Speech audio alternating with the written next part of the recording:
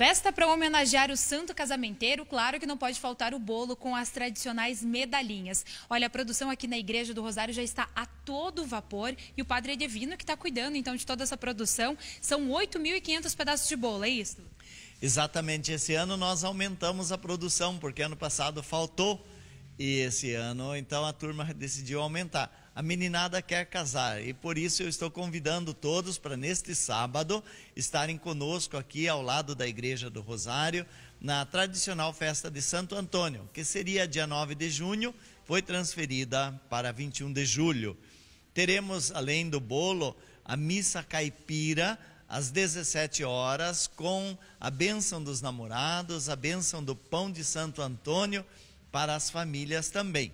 E tem um bolo que é especial, que vai estar com uma aliança, é isso?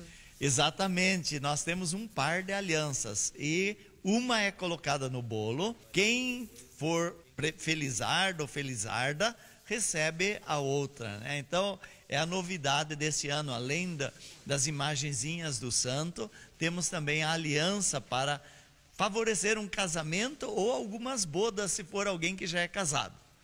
Só reforçando então, padre, a festa é no sábado, a partir de que horário? Como que as pessoas podem fazer para participar?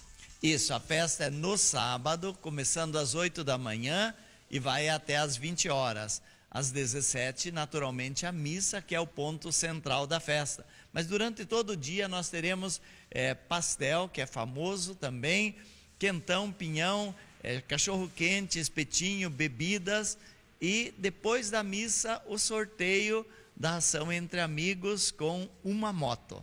Tá certo, muito obrigada pelas informações. Alexandra Fernandes para o Tribuna da Massa.